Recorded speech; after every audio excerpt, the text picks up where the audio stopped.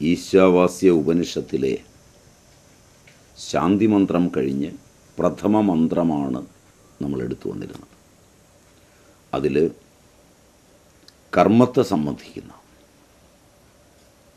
വളരെ ശ്രദ്ധേയമായ ഒരു ഭാഗമാണ് പറഞ്ഞു വന്നിരുന്നത്. യോഗം കുശലതയോടെയുള്ള കർമ്മനിർവഹണമാണ് അതിൽ സർവകർമ്മങ്ങളും ഭഗവാനിൽ സമർപ്പിക്കുക. അശുക്ലവും അകൃഷ്ണവും ബലവത്താകുമ്പോൾ അത് തിരിച്ചറിഞ്ഞ് ഭഗവാനിൽ സത്കർമ്മങ്ങളെ സമർപ്പിച്ച് മോശകർമ്മങ്ങളെ ചെയ്യാതെ കർമ്മങ്ങളെ ശിഥിലമാക്കുക. കാമത്തെ ശിഥിലമാക്കുന്നതിന് കർമ്മത്തിന്റെ കാരണം കാമമാണ്. കാമത്തെ ശിഥിലമാക്കുന്നതിന് ഉപാസന അഥവാ ഭക്തി ആണ് വഴി.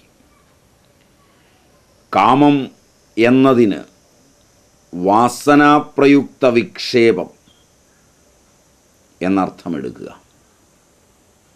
വാസനാപ്രയുക്തമായ വിക്ഷേപം തന്നെയാണ് കാമം. എപ്പോഴാണോ ബോധം തന്നിൽ തന്നെയുള്ള വാസനകളാൽ വസ്തുക്കളെ സൃഷ്ടിക്കുന്നത്. തന്റെ ഭൂതകാലീനങ്ങളായിരിക്കുന്ന അനുഭവങ്ങളുടെ പോരായ്മകളോ ആസ്വാദനങ്ങളോ അനുഭവങ്ങളോ കൊണ്ട് എപ്പോഴാണോ അത്തരം വാസനകൾ പ്രയുക്തങ്ങളാകുന്നത്. വർത്തമാനസ്ഥിതങ്ങളായിരിക്കുന്ന കർമ്മകലാപങ്ങളെ കൊണ്ട് എപ്പോഴാണോ വാസനകൾ പ്രയുക്തങ്ങളായിരിക്കുന്നത്.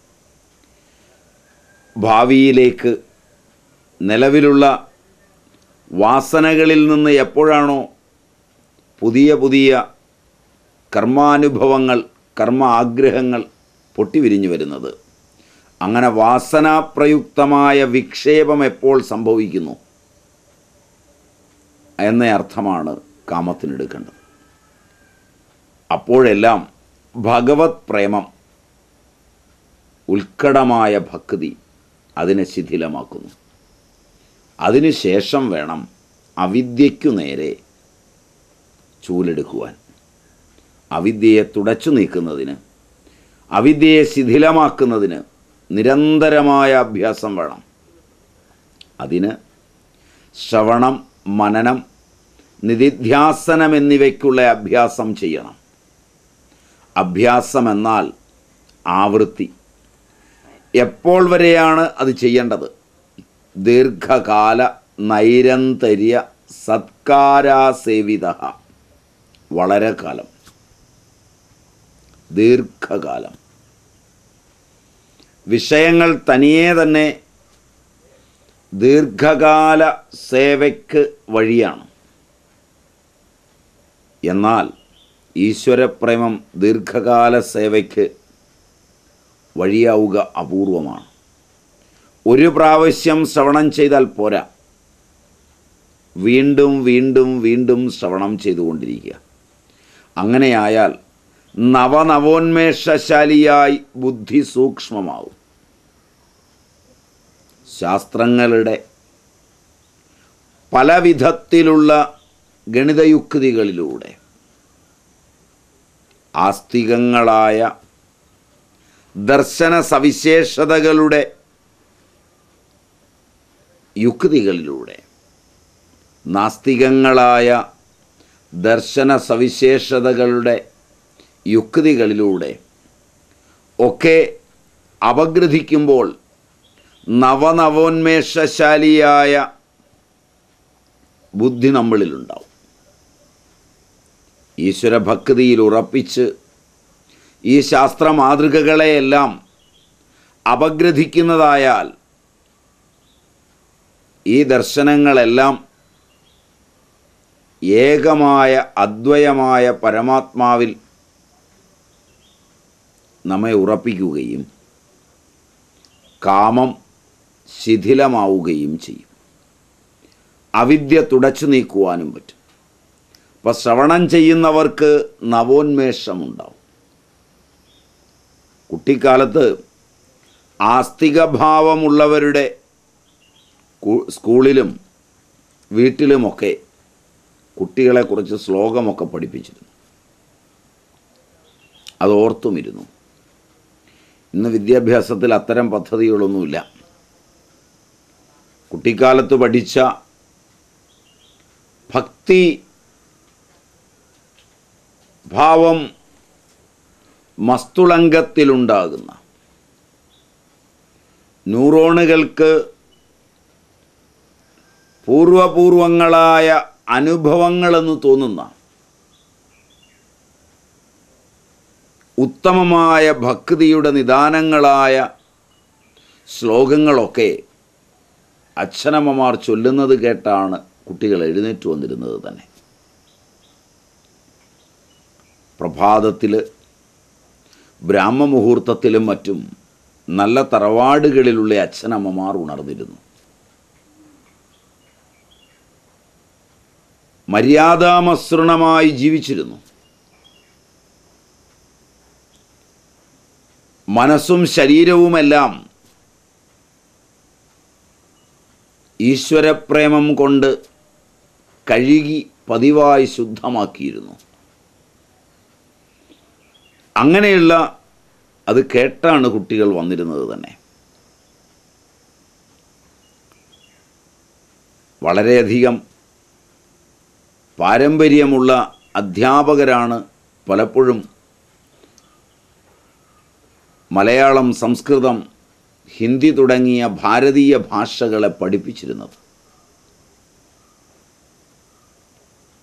എത്രത്തോളം ഭൗതിക സത്തയ്ക്ക് പ്രാധാന്യം നൽകിയിരുന്നുവോ അതിനേക്കാൾ ഒരുപടി മുകളിൽ ഈശ്വരാന്വേഷണത്തിനും സത്യാന്വേഷണത്തിനും ഭാരതം മുൻതൂക്കം കൊടുത്തിരുന്നു. ഗുരുകുല വിദ്യാഭ്യാസത്തിൽ അത് പ്രത്യേകിച്ചുമായിരുന്നു. അപ്പോൾ ശ്ലോകങ്ങളായി ഒട്ടു വളരെ പഠിച്ചു വച്ചിരുന്നു. ആ ശ്ലോകങ്ങളുടെ അർത്ഥമൊന്നും അറിഞ്ഞല്ല ആദ്യം പഠിച്ചിരുന്നത്. ശ്ലോകം പഠിപ്പിക്കുക കുട്ടികൾ ഓർക്കുക. മുഖം കരോതി വാചാലം പങ്കും ലംഘയതേ ഗിരിം. യത്കൃപാതമഹം വന്ദേ പരമാനന്ദമാധവം.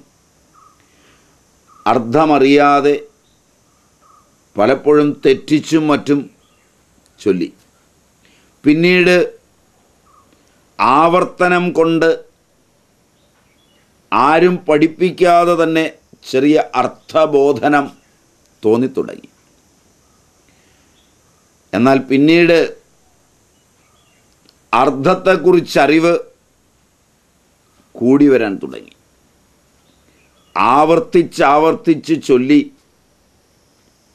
അതൊരു ചര്യയാക്കി മാറ്റിയപ്പോൾ അതിന്റെ അർത്ഥത്തിൽ പല ഭാവഭേദങ്ങളും വന്നു. ഭഗവത് ഭഗവത് കൃപ മൂകനെ വാചാലനാക്കും വിധം ജ്ഞാനം സമ്പൂർണമാകുന്നു. അത് പങ്കുവിനെ പർവതം താണ്ടാൻ കഴിവുള്ളതാക്കുന്നു. ഇത് വാച്യാർത്ഥമാണ്. അതിൽ വായിച്ച് വായിച്ച് ഭാഷ ഉറയ്ക്കുമ്പോൾ കിട്ടുന്ന വാച്യാർത്ഥമാണ്. എന്നാൽ പതുക്കെ പതുക്കെ ലക്ഷ്യാർത്ഥത്തിലേക്ക് ഉയരണം. അസംഭവമോ? എന്ത് അസംഭവമാണോ? അസംഭാവ്യമാണോ? അതിനെ സംഭവമാക്കുന്നു എന്നത് ലക്ഷ്യാർത്ഥം. മാനവന് അവന്റെ ചുറ്റുമുള്ള പദാർത്ഥങ്ങളും അവനും ചേർന്ന് ശാസ്ത്രയുക്തിയിലൂടെ പലതെല്ലാം ഉണ്ടാക്കുവാനും കണ്ടെത്തുവാനും കഴിയുന്നു എന്നത് സംഭവങ്ങളുടെ പരമ്പരയാണ്. എന്ത് സംഭവമാക്കാൻ കഴിയുന്നു അതുണ്ടാകുന്നു എന്നതിൽ അത്ഭുതത്തിന് അവകാശമില്ല. അസംഭാവ്യമായതിന്റെ സംഭാവ്യത അത്ഭുത ലോകമാണ് ശാസ്ത്രത്തിന്റെ നിഷ്കൃഷ്ടമായ യുക്തികളിലൂടെ കൃത്യതയോടെ പോകുമ്പോഴെല്ലാം ഗണിതയുക്തികളെയും കൃത്യതയെയും എല്ലാം നിസാരമാക്കിക്കൊണ്ട് പലതും സംഭവിക്കുന്നു. ശാസ്ത്രലോകം ഒരിക്കൽ തീരുമാനിച്ച തീരുമാനങ്ങളെ മാറ്റിമറിക്കുവാൻ ഇതിന് കഴിയുന്നു. ഈ ഒരു കഴിവിനെയാണ് സംഭാവ്യത എന്നതിനെ മാറ്റി അസംഭാവ്യതയെ സംഭാവ്യതയാക്കുന്നു എന്ന് പറഞ്ഞത്. അപ്പോൾ ലക്ഷ്യാർത്ഥത്തിലേക്ക് നീങ്ങിത്തുടങ്ങുന്നു ഇതറിയുമ്പോൾ. അധമനെ മഹാനാക്കുന്ന വിധം ഉദാരമാണ് ഈശ്വരകൃപ.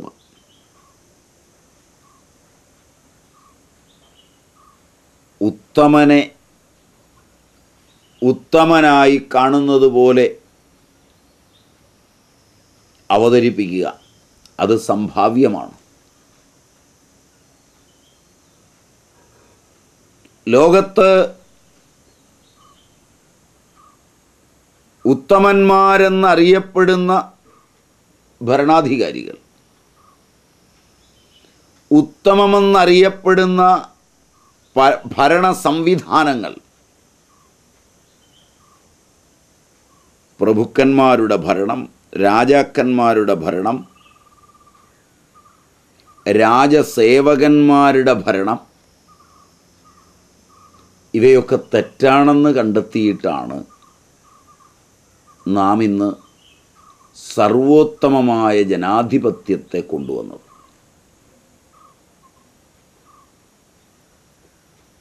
ഒരാളും ഒരാളെയും ചൂഷണം ചെയ്യാതിരിക്കാൻ. എല്ലാ ചൂഷണങ്ങളും ഇല്ലാതാക്കാൻ. ഉത്തമന്മാരായ ജനാധിപത്യ ഭരണാധികാരികൾ സർവോത്തമമെന്ന് കണ്ട ഭാഷയാണ് ആംഗലേയ ഭാഷ. സംസ്കൃതത്തിനും മലയാളത്തിനും ഹിന്ദിക്കും തമിഴിനും തെലുങ്കിനും കർണാടകത്തിനും ഒക്കെ പരിമിതികളുണ്ടെന്നും വിശ്വോദാരമായ ഭാഷയും വിശ്വത്തിലെ മുഴുവൻ കാര്യങ്ങളും അവതരിപ്പിക്കാൻ പറ്റിയതുമാണ് എന്ന് കണ്ടാണ് നാം ആംഗലേയ ഭാഷയെ പുൽകിയിരിക്കുന്നത്. കാര്യങ്ങളെ കൃത്യമായി അവതരിപ്പിക്കുവാൻ ഭാഷയെ ദുർവ്യാഖ്യാനം ചെയ്യാതെ പറയുന്നത് അതുപോലെ മനസ്സിലാക്കുവാനാണ് ഭരണഭാഷയെയും നാം ആംഗലേയ ഭാഷയാക്കി മാറ്റിയത്.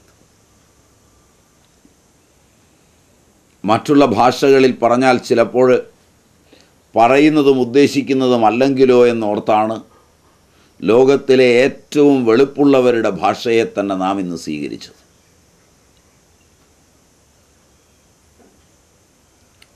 എല്ലാ കാര്യങ്ങളിലും കൃത്യമായ നിയമനിർവഹണങ്ങൾ നീതി ലഭിക്കുവാൻ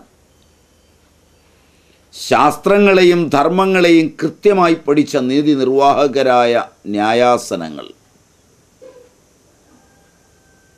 കണ്ണിൽ എണ്ണയൊഴിച്ച് ലോകത്ത് തെറ്റുപറ്റാതിരിക്കാൻ ലോകസേവനത്തിന് തയ്യാറായ പോലീസ് വിഭാഗങ്ങൾ പട്ടാള വിഭാഗങ്ങൾ.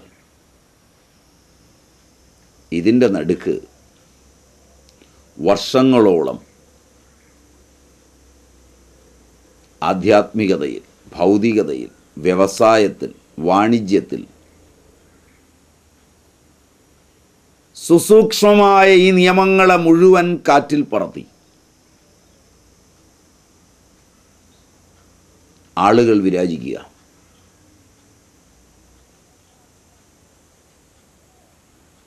അസംഭാവ്യമായതിന്റെ സംഭാവനയാണ് വിദ്യാഭ്യാസത്തെയും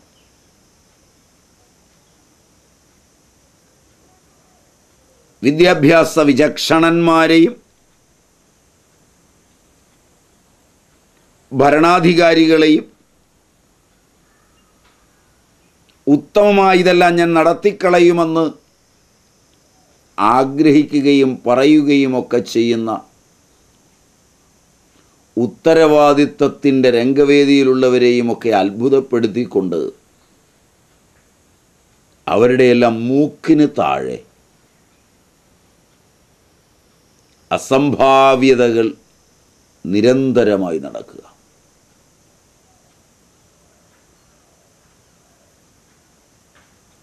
അധമന്മാർ മഹാന്മാരായി അറിയപ്പെടുക.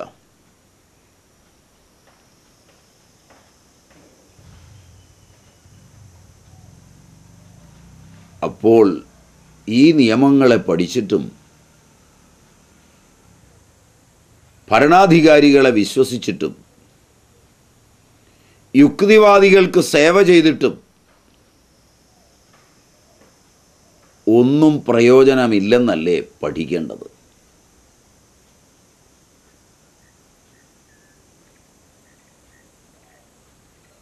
വിദ്യാഭ്യാസം കൊണ്ട് നിങ്ങൾ പരിപൂർണരാവും.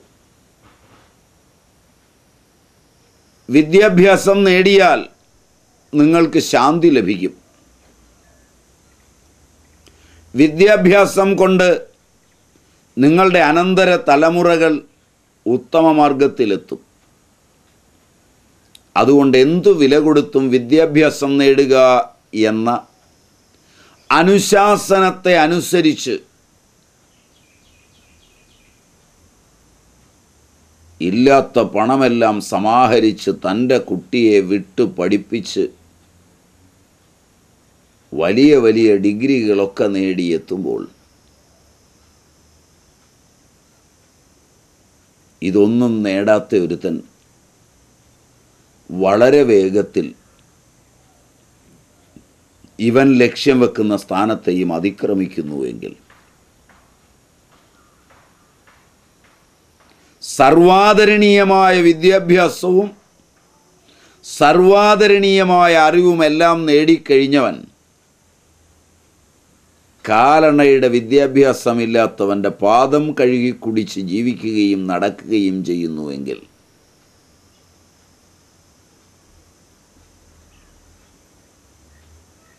ഏത് തരം കൃപയെയാണ് നമ്മൾ ആശ്രയിക്കേണ്ടത്?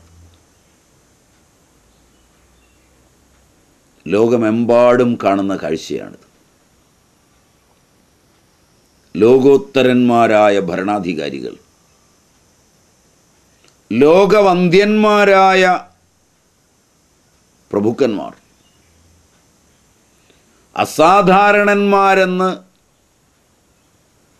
മാധ്യമങ്ങൾ ഉദ്ഘോഷിക്കുന്ന പ്രതാപശാലികൾ. എല്ലാം ഏതോ വിഭൂതിയാലെന്ന പോലെ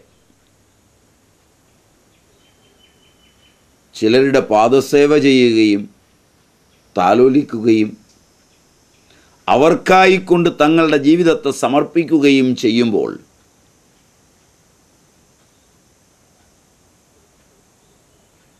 ജനങ്ങൾ സേവിച്ചു പോന്ന കൃത്യതയുള്ള ഈ പദ്ധതികൾക്കെല്ലാം അപ്പുറം ഏതോ അജ്ഞേയമായൊരു കൃപ ഒളിഞ്ഞിരിപ്പുണ്ട് എന്നും അതിന്റെ അനുഗ്രഹത്താൽ മാത്രമാണ് എന്തെങ്കിലും നേടേണ്ടതും നേടുന്നതുമെന്നും തിരിച്ചറിയുവാൻ കഴിയുമ്പോൾ കുട്ടിക്കാലത്ത് പഠിച്ച ഈ ശ്ലോകത്തിന്റെ അർത്ഥം ലക്ഷ്യാർത്ഥത്തിലേക്ക് മെല്ലെ മെല്ലെ നീങ്ങുന്നത് കാണാം. അധമനെ മഹാനാക്കുന്ന വിധം ഉദാരമായ കൃപയാണ് അന്വേഷണത്തിന് വിഷയമാവുക. ഇത് കഴിഞ്ഞ് വീണ്ടും മനനവും സത്സംഗവും മറ്റും കൊണ്ട് ദിവ്യമായ അർത്ഥം പ്രകടമാകുന്നു. ലക്ഷ്യാർത്ഥത്തിനും അപ്പുറം. മൂകോ അവാചി വാക്ക് രഹിതം മൂകപദത്തിന് അർത്ഥം അതാണ്. വാക്കില്ലാത്തത്. ബ്രഹ്മത്തെക്കുറിച്ചുള്ള അറിവിൽ എല്ലാവരും മൂകരാണ്. ആരുടെ അടുത്തും അതിന് വാണിയില്ല. ഫലമോ ബ്രഹ്മജ്ഞാനം സാധ്യമല്ല. ബ്രഹ്മധ്യാനവും സാധ്യമല്ല. മനന കഥനാദികളും സാധ്യമല്ല. ഭഗവാന്റെ കൃപ കൊണ്ട് മൂകൻ വാചാലനാകുന്നു. എങ്ങനെ വാചാലൻ? പരാവാക്ക് കൊണ്ട് വാചാലനാകുന്നു. പരാവാണി കൊണ്ട് ബ്രഹ്മത്തിന്റെ ബോധമുണ്ടാകുന്നു. പരാ പശ്യന്തി മധ്യമ വൈഖരി എന്നിങ്ങനെ വാണി നാല് വിധം. ഇതും നമുക്ക് മെല്ലെ മെല്ലെ പ്രകടമായി വരുന്നു. കർമ്മത്തിന്റെയും ഉപാസനയുടെയും തലത്തിൽ അന്ധക്കരണത്തെ പരിശുദ്ധമാക്കുന്നതിനുള്ള ഈ പദ്ധതികളെയെല്ലാം നിഹിതമാക്കിയ ഈശാവാസ്യ മന്ത്രത്തിന്റെ ശ്രുതിമാതാവിന്റെ പാവനപാദങ്ങളിൽ ഭക്തിപ്രശ്രയപൂർവം പ്രണമിച്ച് ഈ ഭാഗം നമുക്ക് ഉപസംഹരിക്കാം